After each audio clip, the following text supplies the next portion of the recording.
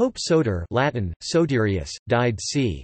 174 was the Bishop of Rome from c.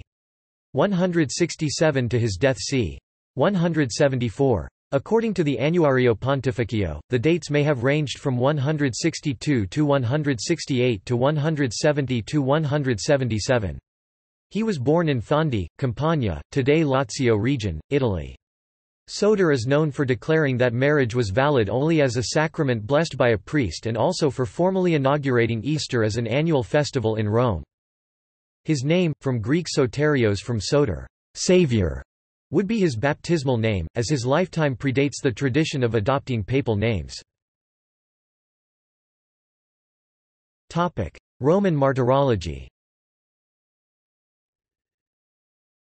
Saint Soter's feast day is celebrated on the 22nd of April, as is that of Saint Caius. The Roman Martyrology, the official list of recognized saints, references Soter. At Rome, Saint Soter, Pope, whom Dionysius of Corinth praises for his outstanding charity towards needy exiled Christians who came to him, and towards those who had been condemned to the mines. It has often been supposed that all the earliest popes suffered martyrdom, but the Roman Martyrology does not give Pope Soter the title of martyr. The book detailing the 1969 revision of the general Roman calendar states, "...there are no grounds for including Saint Soter and Saint Caius among the martyrs."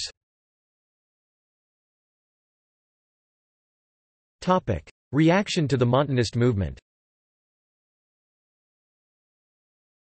The Montanist movement, which originated in Asia Minor, made its way to Rome and Gaul in the second half of the 2nd century, during the reign of Eleuterus.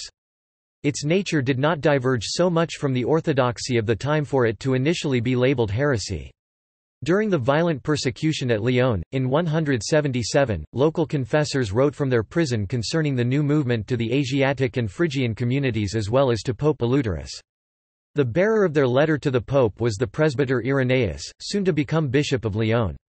It appears from statements of Eusebius concerning these letters that the Christians of Lyon, though opposed to the Montanist movement, advocated patience and pleaded for the preservation of ecclesiastical unity. When the Roman Church took its definite stand against Montanism is not precisely known. Tertullian records that a Roman bishop sent some conciliatory letters to the Montanists, but based on the complaints of Praxeas concerning the prophets themselves and their churches, and by insistence on the decisions of the bishop's predecessors", forced the pontiff to recall these letters. Another ancient source states that, "...Holy Soter, pope of the city, wrote against them a book, as did the master, Apollonius of Ephesus. Against these wrote the priest Tertullian of Carthage."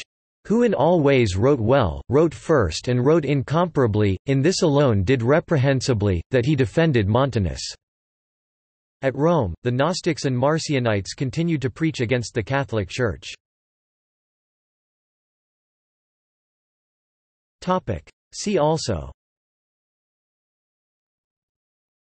List of Catholic saints. List of popes. References